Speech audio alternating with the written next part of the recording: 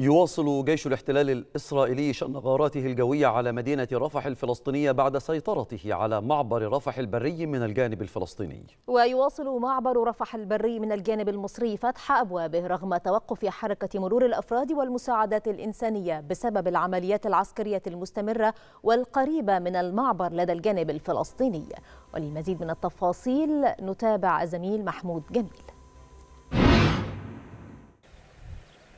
أهلا بكم وبكل السادة المشاهدين. لازلنا نتابع معكم التطورات الجارية أمام معبر رفح البري وأيضا في مدينة رفح الفلسطينية. يعني لا زالت الغارات الجوية التي يشنها الاحتلال الإسرائيلي على مدينة رفح الفلسطينية مستمرة منذ صباح هذا اليوم وأيضا في وقت متأخر من مساء أمس كانت الغارات الجوية شديدة وعنيفة والقصف مستمر وهذا أدى إلى سيطرة الاحتلال الإسرائيلي بشكل كامل صباح هذا اليوم على معبر رفح البري من الجانب الفلسطيني ورفع العلم الإسرائيلي هناك وبالتالي هذا يعني أثر وأدى إلى توقف حركة المساعدات بشكل كامل. وأيضا يعني كما نسمع دوي هذه الانفجارات المستمرة هنا يعني سواء كانت يعني غارات جوية أو أحزمة نارية أو أسلحة نارية وكما نسمع أيضا من الجانب الآخر الآن هذه الغارات الجوية المستمرة لم يتوقف الاحتلال الإسرائيلي عن عملياته العسكرية في مدينة رفح الفلسطينية الفلسطينية وربما